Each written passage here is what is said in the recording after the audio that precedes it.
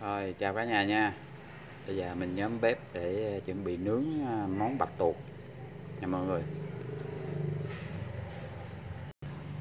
À, Mình đốt lò để lấy than ha.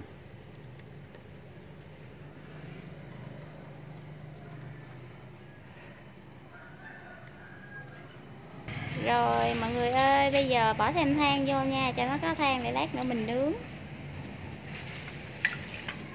Không quá Quá Lấy cái lò kẹp á bơi.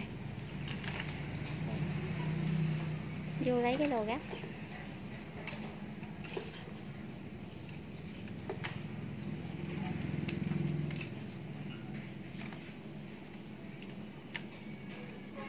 Khói vô nhà không giờ? ra ngoài khung cảnh rất là hữu tình nha mọi người nướng nướng dưới vàng hồng nhưng mà tướng xong rồi không biết cái vàng hồng này nó có ổn không?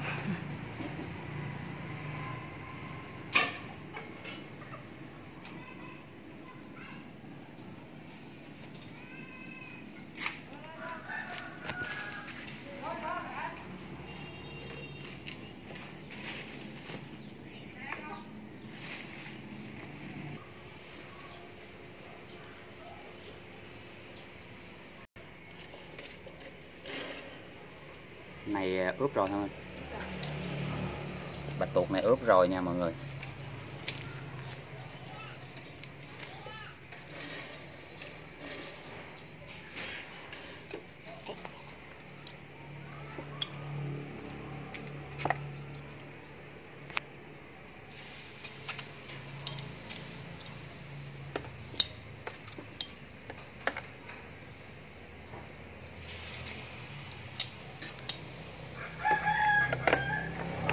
Dẫn chưa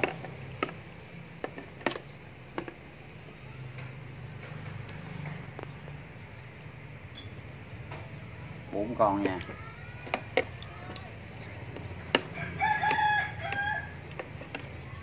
Bốn con này nhiêu? Hai trăm. 200 ngàn nha mọi người. Bốn con. À, này là mình à, ướp sa tế. À, thấy không? Còn ớt luôn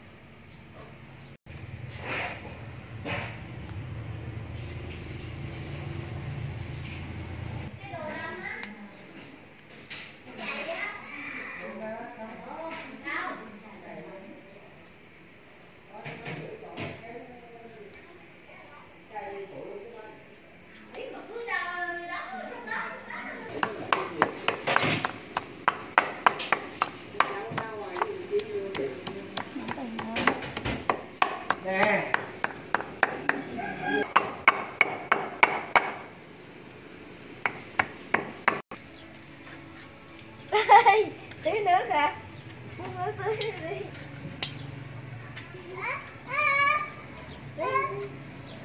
ước à.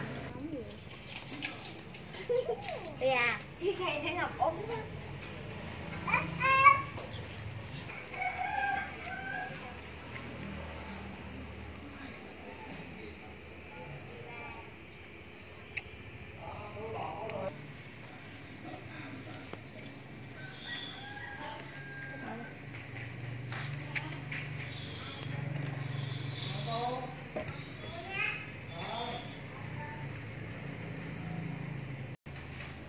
xong rồi nha mọi người ơi bây giờ mình chén thôi.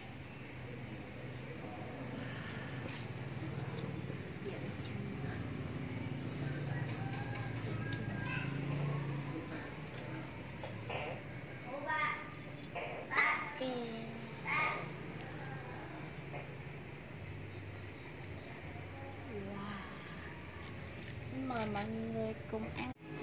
Xong rồi mọi người ơi bây giờ ch- chồng mình với lại ba sẽ làm một quay. ly cho vui. Ngon quá. Sắp mùng 5 tháng 5 rồi đi về thăm ông bà ngoại. chấm muối ớt để cái cho đi đội đá bóng cho rồi. Có lên đi đá bóng còn mai mốt mình trị ngủ trị được. Bạch tuộc nướng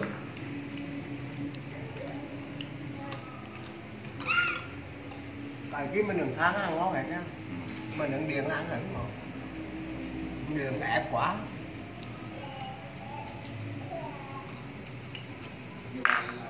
Cuối quá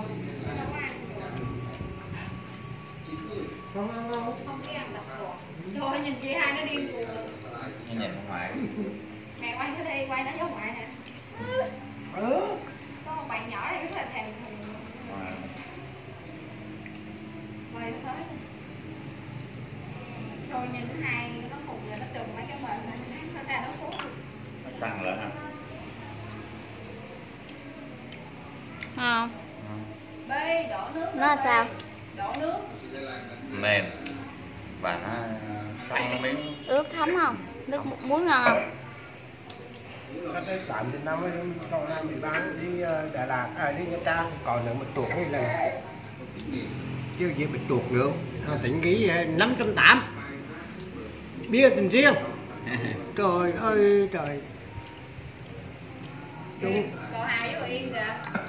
Nguyên một gia đình luôn. Rồi